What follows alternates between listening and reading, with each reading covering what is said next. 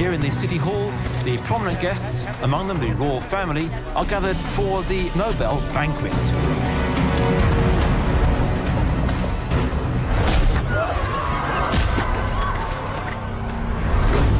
Vi har skottlossning på Nobelfesten. Minst fem personer skjutna. Patrik, någon kontakt med Bengtsson? Jag kommer inte fram. Såg du något?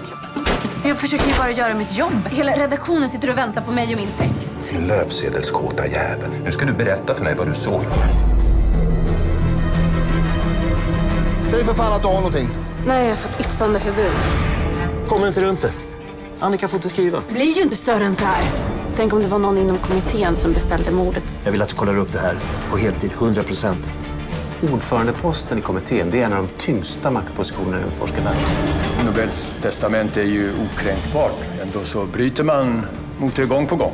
Jag har inte lust att ses någon gång. tror jag inte är så bra idé för att jag är gift. Eller, jag är sambo då egentligen.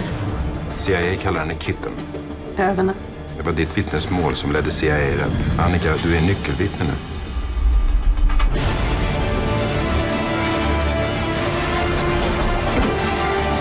Om hans forskare inte finns med bland pristagarna kommer jag att dö.